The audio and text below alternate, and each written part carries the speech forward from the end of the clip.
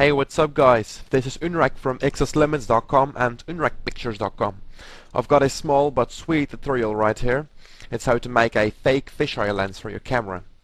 If you really like to have that lens, but you don't have money or you're filming with a mobile phone, well then this is the solution. Video editing. So this is the effect we're gonna make. Uh, let me just show you. I'm sorry for the low frames per second, but uh, my computer is not one of the best.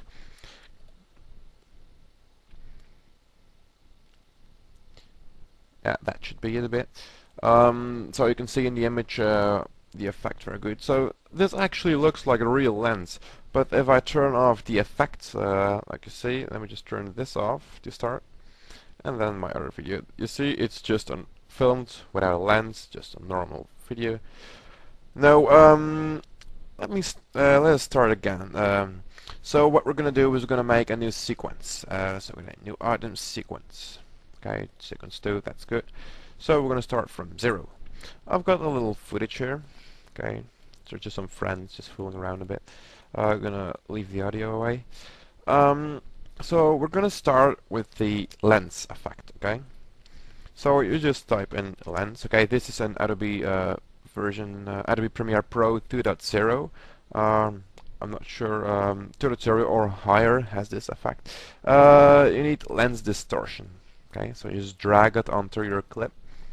And if you open this effect, you can move a lot of things, but we're only going to move uh, this uh, horizontal, whatever this is. Uh, so as you see, here you can see what it does. Uh, you can move it also down, but we're gonna move it up. So I've got uh, ball formy thing. Okay, not too much. Uh, if you like it much, you can take a lot. I'm just gonna take 10 for this. Okay, that should do it.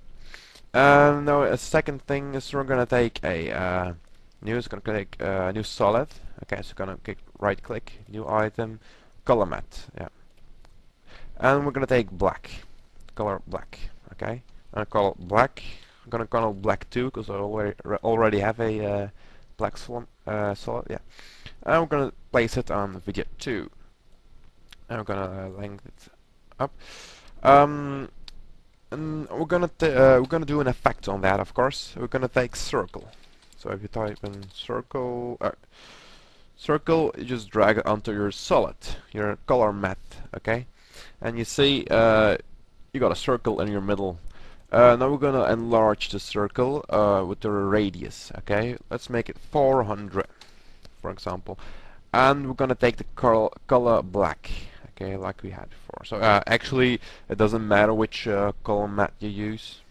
Um, and now we're gonna uh, think invert invert circle, and that will invert it. So you've got that lens effect, of course. That's uh, what we're trying to make. And we're gonna feather it a bit Okay, not too much. Say 10, 20. Yeah, 20. That would be good. Um, there we go. That's already the effect. But uh, you see this white. Oh, oops. You see this white thing here. So we're gonna play with the uh, opacity of the uh, video clip. Okay. Um, the motion of the video clip. I'm sorry. Uh, we're gonna you can scale it up till it's uh, till you don't see the white anymore. Okay, you can also play with the height. Um, this way, yeah, but I don't think you can really. I think it's best you take the scale, yeah. So you just scaled up till you don't see the uh, white anymore. If you want to see the lens more, you can also play with your circle here. You can make the radius uh, smaller. You can make it larger. You can make see uh, 430 or something let's say 400 that you see the lens very very good okay that looks like you got a real lens and um, yeah well that's this is it actually.